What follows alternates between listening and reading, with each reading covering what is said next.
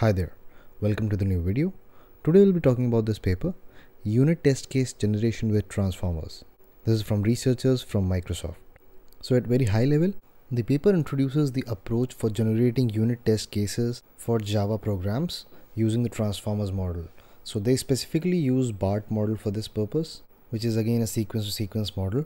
We'll see into detail to how do they use that. But yeah, two major contributions that they make in this paper is to try out if any sequence sequence model such as BART can be tuned to generate test cases given a function, whereas they also open source the largest available supervised parallel corpus for unit test case methods. So talking about unit test, unit test is a way of testing the unit or the smallest piece of code that can be logically isolated from the entire system or the repository that you have. So where you focus on writing the test such that you just test a particular functionality to if it's behaving to how it is expected to be or not. So these functions that you usually test are called focal methods. So without further ado, let's start with abstract. So in this paper we propose AthenaTest. So this is what they're naming their work. It's an approach that aims at generating unit test cases by learning from real world developer written test cases. So they use sequence sequence transform model for a given method which they call as focal method. So yeah, this being the first contribution. The second one being open sourcing the largest dataset which is methods to test, which comprise of 630,000 test cases from 70,000 open source repository from GitHub for the Java programming language. Okay. So once the test cases are generated, they evaluate those generation on certain properties to how test cases should be written, which includes the syntactic correctness, the number of test cases that the system generates, and different ways of testing that API. They also collect the test coverage information, which basically calculates if all the functionality of the focal methods are being used or not. And after performing this automated evaluation, they do a user survey from professional developers in terms of how readable, understandable, and effective were the generated test cases. So yeah, with this background, let's move forward and read the exact method so here authors first discuss the data collection method, which is methods to test. So they select 70,000 sample of public GitHub repository that are based of Java language that have at least 10 stars and have been updated in last 5 years and are original repositories, not forked ones. So this is the first level of filter that they apply to make sure the repository that they're dealing with is legit and active.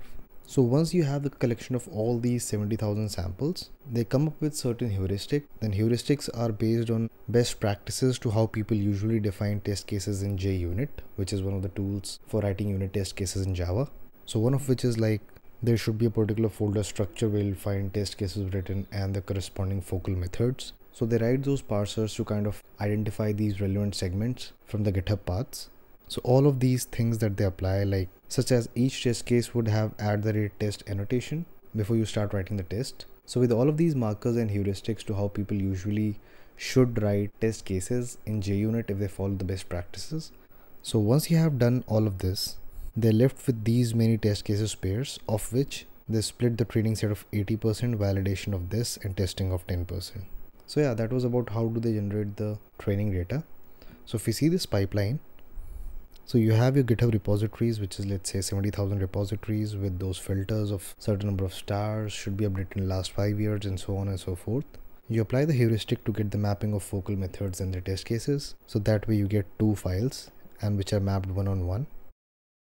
Then you already have a BART transformers, which is a sequence to sequence model, which has encoder and decoder that was pre-trained on sentences at the level of denoising them. So we'll see to how the BART was trained in some time. So once you have that pre-trained BART, you do one more level of pre-training which is code pre-training. So the one that i just mentioned which was about denoising objective is this english level pre-training.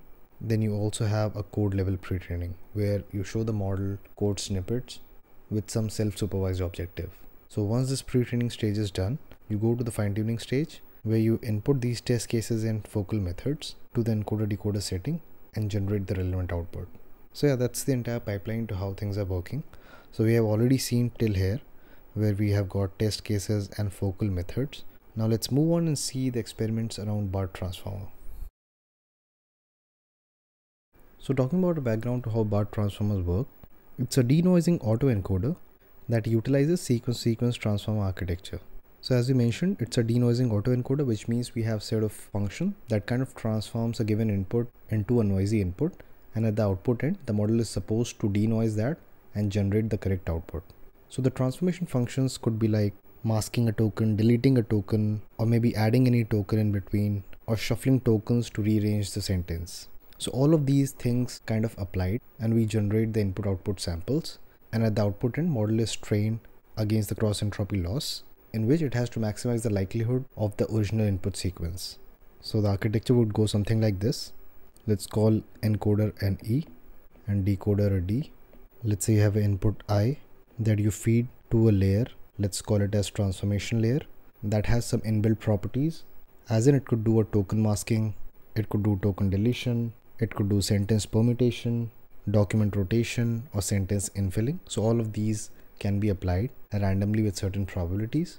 And once you get the output from this layer, you feed it to the encoder layer. So the encoder tries to encode all of these things in a thought vector, which gets fed to the decoder end. So decoder is auto-regressive in nature, which means for any given input, you would try to generate the output that comes next to this word. And then this word gets as input to the next token. You generate the subsequent token and this chain goes on till the end of the text is reached. So this sequence that you generate is supposed to be i which is pre-transformation stage input. So that way you feed in your encoder the transformed version of the input and you train it against the original input format. So yeah that's the idea for BART.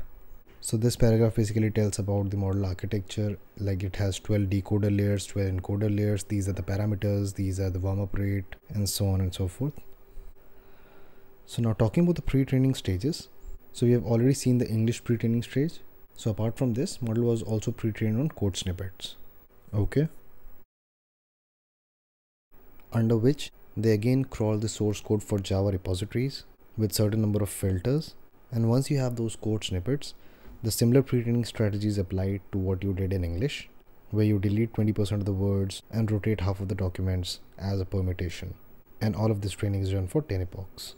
So the intuition behind two pre-training stages is that with English pre-training, model would have learned the semantic and statistical properties to how natural language or to be more specific how English language is usually written. So doing English pre-training stage at the early level and then having a subsequent code pre-training stage would have helped the model to gradually increase its knowledge from knowing what a general English would mean to how usually codes are written. So this transition from being a generalist to a specialist would have helped the model in learning better parameters for the desired task. So now talking about the fine tuning stage. So they map every test case as this format. So we are trying to learn this mapping, which is nothing but the conditional probability of generating the test case having seen the focal method for which we want to generate that. So since all of this is being applied in a sequence sequence architecture, you can think of this to be happening as a translation task where you have a certain input language and you want to translate that to output language. So they use cross entropy loss at every time step t and eventually they do the summation of this loss across every time step at the decoder end and then backpropagate the aggregated one. And since input and output both are about coding languages around Java, they use shared vocabulary embeddings for both encoder and decoder so that the model doesn't need to relearn the embedding for the same word at both encoder and decoder end separately. Okay, so now talking about the model variants with which they try out all the experiments. So they try out all the possible permutation to see which version of the BART performs better. So the first one is BART Scratch, where they do not pre-train BART at all. They just fine tune on this test case and focal method task. The second is BART English, where the model was pre-trained on English corpus from Wikipedia and then it was fine-tuned for this task of test case generation.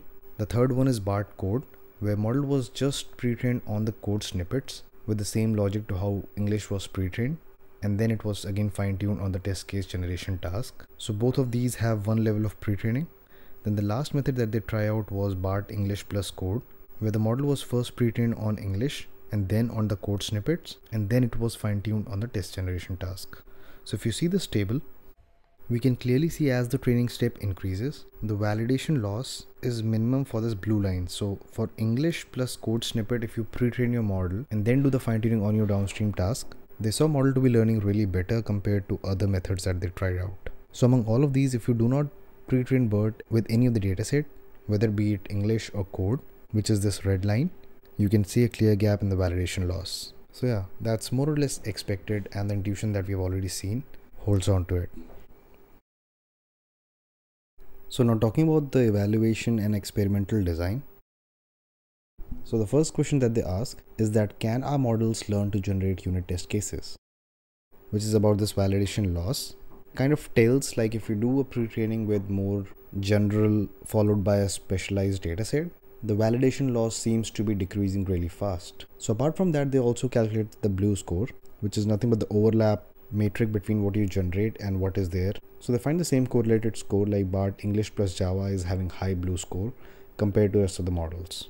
They also talk about one more graph which is about top k accuracy results. So as you increase the value of k, the number of perfect predictions also increase from BERT Scratch to BERT Java plus English, which is negatively correlated to the validation loss because here the model tells about the confidence of generating relevant predictions as you increase the generated sample size. So summary for this research question is like pre-training on both English and source code showed a significant positive effect and model was able to get the best validation loss, BLEU score as well as the top K accuracy. So the second question that they ask what is the quality of the generated test cases? So they test the syntactic correctness first. They found that the model was able to generate syntactically correct Java methods for 84% of the times. And on further manual investigation on these results, they found that the test cases that were long enough and since they were doing a clamping of let's say generating 1000 words or maybe 100 words, model was explicitly truncating those sequences to meet that upper limit demand because of which they saw abrupt ending in the generated sequence. So what they do is they delete the last truncated statement and add a closing parenthesis over there. So for example, if you write something like this, if you have a full stop or let's say semicolon, and again you start writing something from here, and this is not the end, there is supposed to be something followed by this, but let's say this is the maximum length that we have already reached. So they truncate this thing and put a parenthesis over there. So this way they kind of complete the test case that the model has generated and avoid any dangling generations.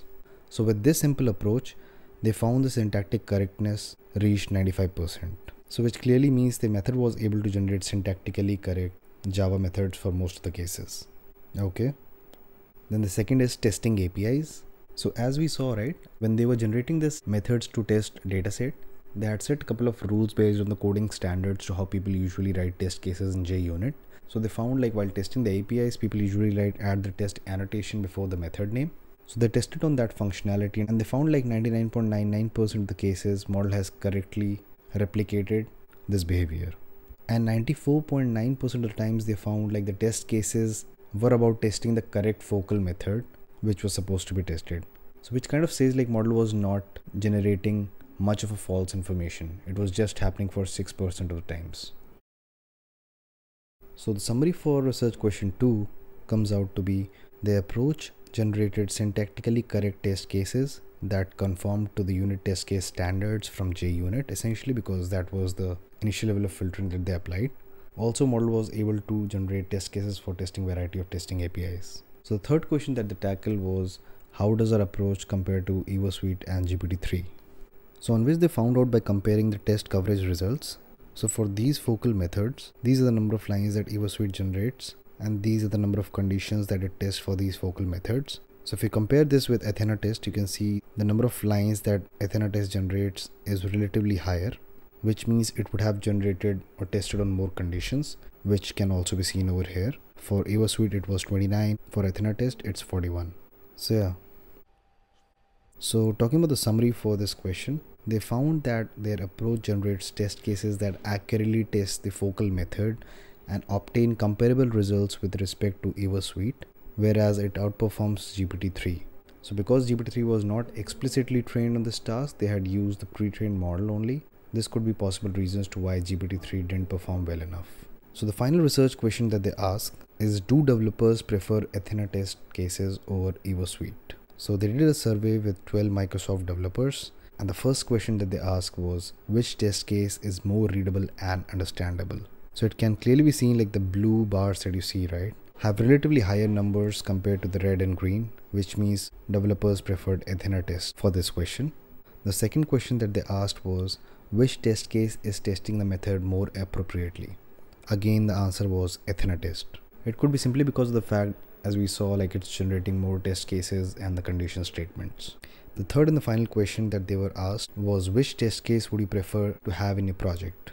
Surprisingly, nobody said GPT-3. Some of them were inclined to EvoSuite, but most of the numbers were inclined to AthenaTest. So yeah, that says some strong results to AthenaTest over EvoSuite, I believe. So the summary for this Q4 was developers prefer the test cases generated by AthenaTest over EvoSuite in terms of readability, understandability, and even test effectiveness. So yeah, that's it I guess for the paper. Now they have related work discussions. So I would say it was a pretty interesting read and the fact that they have open sourced their dataset is also commendable. And it's also good to see like the authors have covered thoroughly the experimentation and the evaluation cycle as well. So kudos on that. So having said that, if you like such content, make sure to hit that like button and subscribe to the channel. Also share it across with your friends to whosoever is interested in such content. I'll meet you in the next one. Bye.